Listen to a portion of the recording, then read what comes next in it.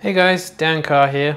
Today we're going to be taking a look at Really Right Stuff's PG02 gimbal head. So this is the kind of head that you would have on a tripod if you were shooting with uh, maybe a 300 but more likely a 400, 5, 600, maybe an 800. And if you're tracking a subject, maybe an animal, maybe aircraft in flight or something like that, then this is the type of head that you're going to want to use. So um, as you guys maybe already know from reading my blog and watching various videos, I'm a pretty big fan of Really Right Stuff.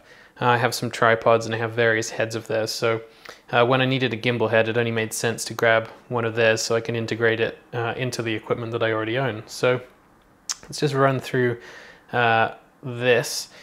Their gimbal head is available in two versions really. This is the side mount version and they have another version which is the same bit here but it has a cradle that comes down as well so um, you can actually cup the lens from the bottom here. Uh, personally, I don't mind having a side mount and I like the weight saving and the bulk saving, so um, this is going to work out just fine for me. I decided to get the 80 mil clamp on here so that you've got a little bit more fore and aft movement when you're trying to balance the lens out. And basically, the gimbal head itself is uh, made up of two parts. We have the, the 02 uh, HB, which is the horizontal base and uh, the 02 VA, which is the vertical arm. So um, it all comes apart. This bit just slides right off and you can actually, for storage, turn this around, clamp this on there, and then if I pop this off the tripod, you can see that's a pretty neat little package and that's that's easy enough to stow away in your bag if you're traveling with it. So um, you'll see actually I've also got the Series 2 leveling base on my uh, TVC24L tripod here. So um, I'll show you this while I've got the head off.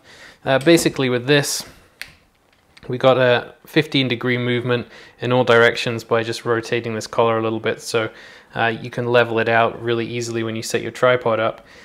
And that means that when you clamp the head on and you're panning with the uh, with the gimbal that you can be sure that this is flat when it's panning right away. So um, it's actually uh, almost a necessity, I would say, if you're using a gimbal head, is to have some sort of leveling base. Otherwise, you're going to be fiddling with the legs uh, for a really long time. So um, let's pop this back off.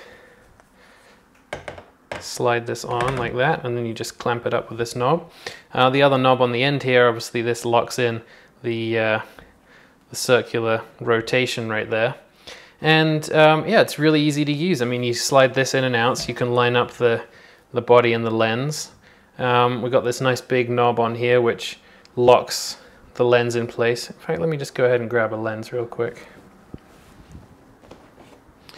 Um, right here I just have a 300 2.8, um, but obviously everything works the same with, with bigger lenses. So um, we'll spin this around and they, you loosen this and then you've got your uh, vertical tilt like that.